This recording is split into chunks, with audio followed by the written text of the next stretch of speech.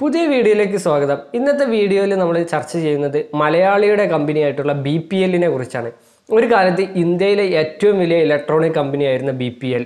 അതുപോലെ തന്നെ mobile phone രംഗത്തും ടെലികമ്മ്യൂണിക്കേഷൻ രംഗത്തുമെല്ലാം മികച്ചു നിന്നിരുന്ന ബി പി എല്ലിന് എന്താണ് പിന്നീട് സംഭവിച്ചത്? എങ്ങനെയാണ് ബി പി എല്ലിൽ ഏറ്റവും വലിയ ഇലക്ട്രോണിക് ഉൽപ്പന്നം എന്നുള്ളതിൽ നിന്നും വളരെ അപ്രതീക്ഷമായി പോയത് തുടങ്ങിയതിനെ കുറിച്ചാണ് ഇന്നത്തെ ഈ വീഡിയോയിലൂടെ നമ്മൾ ചർച്ച ചെയ്യുന്നത്. ബി പി എൽ എന്നുള്ളത് ആയിരത്തി തൊള്ളായിരത്തി അറുപത്തി മൂന്നിൽ കേരളത്തിലെ പാലക്കാട് ജില്ലയിലാണ് സ്ഥാപിച്ചത്. ടി പി ജി നമ്പ്യാർ എന്ന മലയാളിയാണ് B P L company. Physical laboratories എന്നുള്ളതാണ് ബി പി എല്ലിന്റെ ഫുൾ ഫോം പാലക്കാട് ആയിരത്തി തൊള്ളായിരത്തി അറുപത്തി മൂന്നിലാണ് ഇത് സ്ഥാപിച്ചത്. ടി പി ജി നമ്പ്യാർ അമേരിക്കയിലും യു കെയിലുമെല്ലാം ടി പി ജി നമ്പ്യാർ അദ്ദേഹത്തിന്റെ ആദ്യ കാലഘട്ടങ്ങളിൽ അമേരിക്ക ബ്രിട്ടൻ തുടങ്ങിയ രാജ്യങ്ങളിലായിരുന്നു ജോലി ചെയ്തിരുന്നത്. അവിടെ നിന്നും മടങ്ങി വന്നതിന് ശേഷമാണ് അദ്ദേഹം Palakkad B P L company സ്ഥാപിച്ചത്. പിന്നീട് ഇതിന്റെ ആസ്ഥാനം അദ്ദേഹം ബാംഗ്ലൂരിലേക്ക് മാറ്റുകയുണ്ടായി. ഇപ്പോൾ ബി പി എൽ കമ്പനിയുടെ ആസ്ഥാനം ബാംഗ്ലൂർ ആണ്. ആയിരത്തി തൊള്ളായിരത്തി അറുപത്തി മൂന്നിൽ സ്ഥാപിച്ച ഈ കമ്പനി അന്ന് മെയ് കൂടുതലായും ഫോക്കസ് ചെയ്തിരുന്നത് ആർമിക്ക് ആവശ്യമായിട്ടുള്ള ഉൽപ്പന്നങ്ങൾ നിർമ്മിച്ചു നൽകുക എന്നുള്ളതായിരുന്നു. പ്രധാനമായും മെഡിക്കൽ ഉപകരണങ്ങളായിരുന്നു ബി പി എൽ കമ്പനി നിർമ്മിച്ചിരുന്നത്.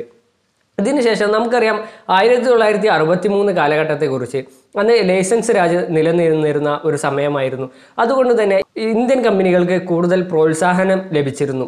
വിദേശ കമ്പനികളൊന്നും മാർക്കറ്റിൽ ഇല്ലായിരുന്നു താനും അതുകൊണ്ട് തന്നെ ബി പി എല്ലിന്റെ വളർച്ച വളരെ വലിയ തോതിൽ ആ കാലഘട്ടങ്ങളിൽ നടന്നു. പിന്നീട് ആയിരത്തി തൊള്ളായിരത്തി എൺപതുകളിൽ സാനിയോ കമ്പനിയുമായിട്ടും ബി പി എൽ കൂടിച്ചേരുകയുണ്ടായി. ടെക്നോളജി രംഗത്തുള്ള തങ്ങളുടെ കഴിവുകൾ സാനിയോയുടെ കഴിവുകൾ ഉപയോഗപ്പെടുത്തി ഉൽപ്പന്നങ്ങൾ നിർമ്മിക്കുക എന്നുള്ളതായിരുന്നു ബി പി എല്ലിന്റെ ഒരു പോളിസി.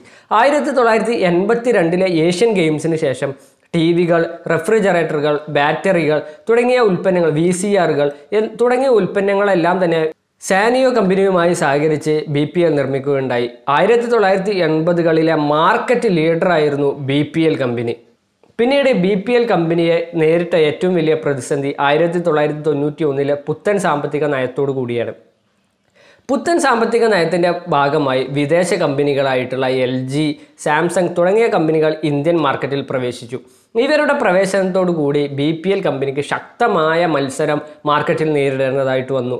ഈ ശക്തമായ മത്സരത്തിനിടയിലും ഏകദേശം രണ്ടായിരത്തി നാല് രണ്ടായിരത്തി അഞ്ച് കാലഘട്ടം വരെ ബി പി എൽ വലിയൊരു പോറലൊന്നുമില്ലാതെ മാർക്കറ്റിൽ നിലനിന്നു. എന്നാൽ രണ്ടായിരത്തി നാല് രണ്ടായിരത്തി അഞ്ച് കാലഘട്ടത്തിൽ B P L Sanyo company ഇവർ അൻപത് ടു അൻപത് തുല്യമായ പങ്കാളിത്തത്തോടു കൂടിയായിരുന്നു കമ്പനി നടത്തിക്കൊണ്ട് പോന്നിരുന്നത്. രണ്ടായിരത്തി നാല് രണ്ടായിരത്തി അഞ്ച് കാലഘട്ടത്തോടു കൂടി ബി പി എൽ കമ്പനിക്ക് ഭീമമായ നഷ്ടങ്ങൾ വരാൻ ആരംഭിച്ചു. ഈ ഒരു അവസരത്തിൽ കമ്പനിയുടെ ടി വി നിർമ്മാണം സാനിയോക്ക് പൂർണമായും വിട്ടുകൊടുക്കുകയാണ് ഉണ്ടായത്. B P L health care അതുപോലെ തന്നെ മെഡിക്കൽ എക്യുപ്മെന്റ്സ് നിർമ്മാണ രംഗത്തും ശ്രദ്ധ കേന്ദ്രീകരിച്ചു. പിന്നീട് പിന്നീട് നമുക്ക് കാണാൻ സാധിച്ചത് മാർക്കറ്റിൽ നിന്നും ബി പി എൽ മെല്ലെ മെല്ലെ അപ്രത്യക്ഷമാവുന്നതാണ്.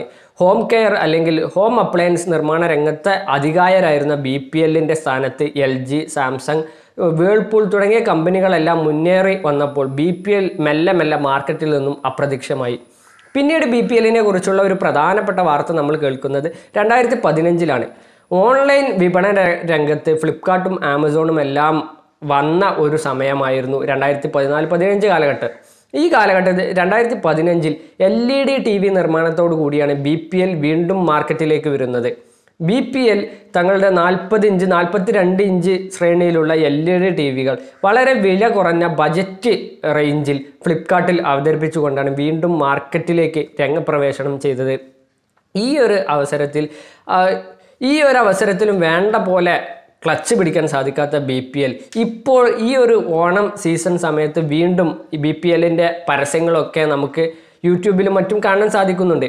വാഷിംഗ് മെഷീനും റെഫ്രിജറേറ്ററുമായി ബി പി എൽ മലയാളിയുടെ ബി പി എൽ വീണ്ടും മാർക്കറ്റ് പിടിക്കാനായി രംഗത്തിറങ്ങിയിരിക്കുകയാണ്. ഇതാണ് ബി പി എല്ലിന്റെ കഥ. ബി പി എല്ലിന്റെ കഥ ഒരു വല്ലാത്തൊരു കഥയാണ്. ഈ ഇതുപോലെയുള്ള കമ്പനികളെക്കുറിച്ച് നിങ്ങൾക്കറിയാമെങ്കിൽ വീഡിയോക്ക് താഴെ കമന്റായി രേഖപ്പെടുത്തുക.